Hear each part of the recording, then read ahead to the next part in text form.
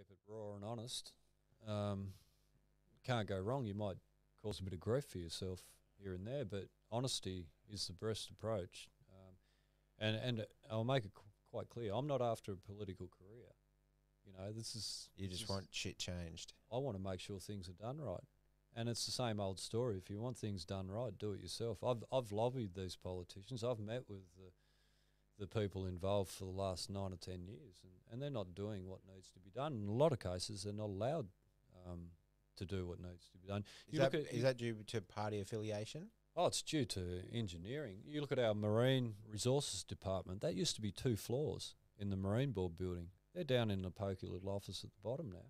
They've underfunded and under resourced them for the last eight years and then handing out two and a half million to some salmon feed company, you.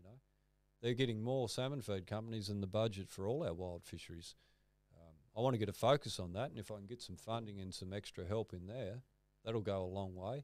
Um, but my biggest objective is to get the community at the table.